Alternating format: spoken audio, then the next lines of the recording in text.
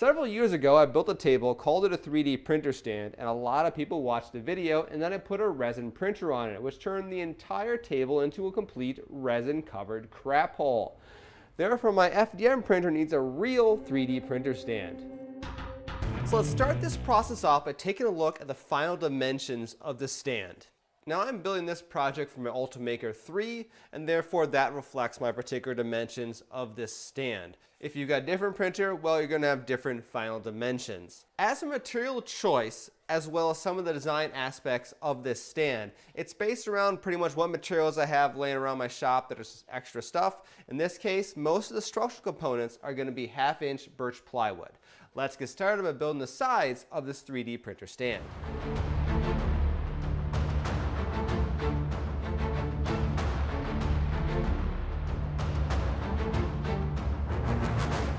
Now, if you only need to occasionally cut large sheets of plywood, you can look at getting something like this instead of a full-blown track saw. This is the Kreg AccuCut, but other companies make similar products as well.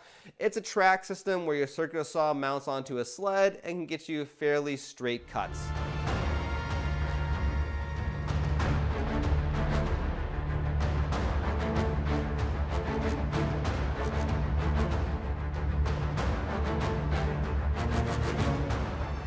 The sides clamped up, let's talk a little bit about the base and the printer shelf. Now they're very similar dimensions, these two pieces. However, everything is sitting on the base, but the printer shelf itself is going to slide in between the two walls. Therefore, it's going to be a little bit narrower than the base by a distance equal to two times the width of your side material. Because I'm using half inch plywood for my sides, therefore my shelf is going to be one inch narrower than the base. And just like the sides though, I am going to be using half inch plywood to build these two pieces.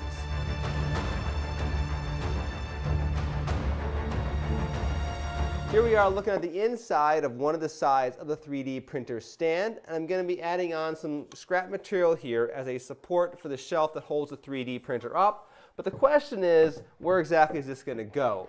Now in a little bit we're going to be building a lid for this whole stand and I want to have this area of the side be a bit of a lip that holds the lid in place so that it can't fall off. Well, make it hard to fall off anyway. So what I want here is maybe about a half inch of material or so to act as that lip. And then on top of that, I've got a half inch thick plywood for the shelf itself. Therefore, this support piece needs to go somewhere about an inch or so down.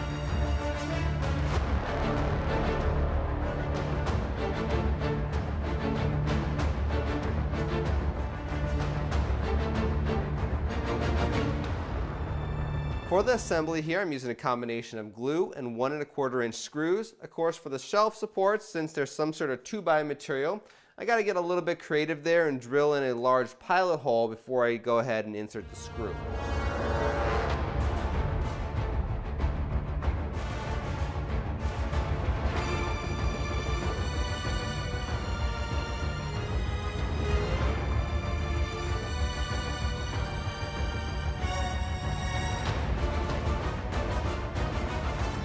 So now we're moving on to the lid. And at the end of the day, this 3D printer stand is going to live here in the wood shop. And of course, sawdust and 3D printers, well, they really don't like each other. So the main purpose of this lid is going to be to keep sawdust off the printer when it's just kind of sitting around.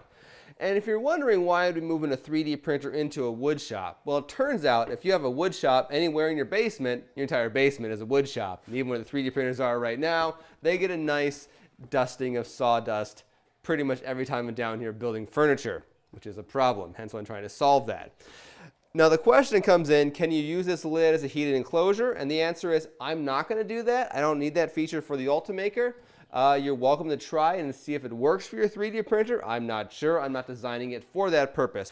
The front of the lid here is going to be made from quarter inch polycarbonate. The reason for that is I have a panel left over from when I bought the old Motor City Combat something arena, I don't know what it's called. Motor City Massacre guys, Michigan Combat Robotic Association, whatever. When I bought the old arena, there was a quarter inch polycarbonate panel there that's no longer safe for robotic combat. Actually, when I'm thinking of it, there's part of the arena right back there. and so I'm going to repurpose it for that, for this lid here. Now the sides are going to be more quarter inch plywood and the back is going to end up being half inch birch plywood, and then I'm gonna brace these sides together. How about we get started?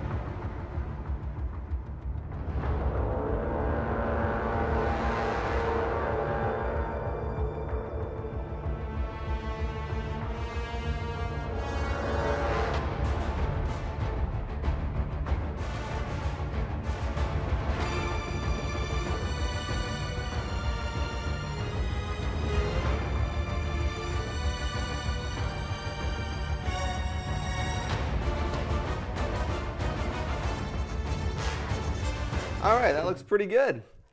What you saw me add there just a moment ago was an extra scrap piece of material along the back of the printer shelf, which prevents the top lid here from kind of hinging on these two roof supports.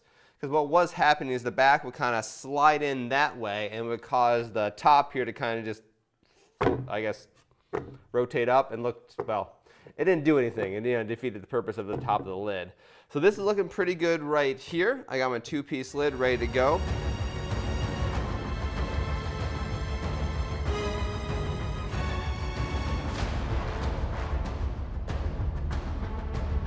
So a few 3D printing tests later, and I had to make one important modification to the top of my stand here. Originally there was two of these 2x3 supporting the roof.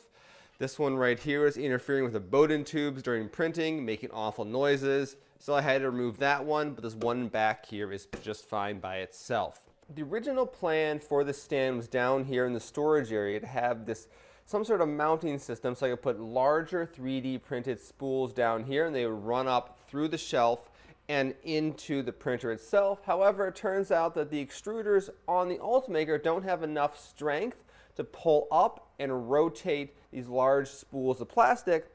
So therefore, I'm going to move them to the back of the printer. So I've already got one built right here as an example. I'm going to build a second one in case I ever want to run two of these large printer spools at once.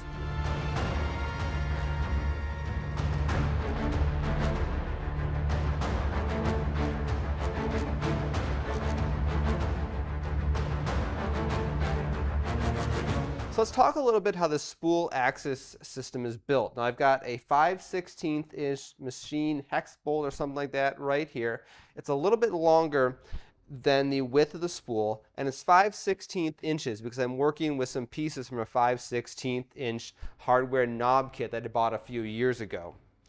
Now I've got a piece of electrical conduit that's going to slide over this thing. It's going to let the spool rotate a little bit smoother. And this particular diameter of electrical conduit, by sheer dumb luck, happens to have an inner diameter that matches the outer diameter of this knob right here. So I can go ahead and I'll tighten this thing on. So I've got a different 5 16th inch bolt right here. And I've got the electrical conduit a little bit shorter now because it's a shorter bolt. And then the idea is the bolt kit slides on here. It kind of locks the conduit in place and it's going to serve as a bit of an axle for the whole thing to rotate around. And this knob here is going to hold the spool from falling off. And with that, we can call this project done. And as a bonus, there's no resin in this area. It's not going to become a resin crap hole. So thank you guys all for watching. I'm Jason, the creator of the Tabletop Battlefield. If you like 3D printing, I'll drop some 3D printing terrain video somewhere around here. You can watch the next one if you're interested. Otherwise, I'll see you guys all next time.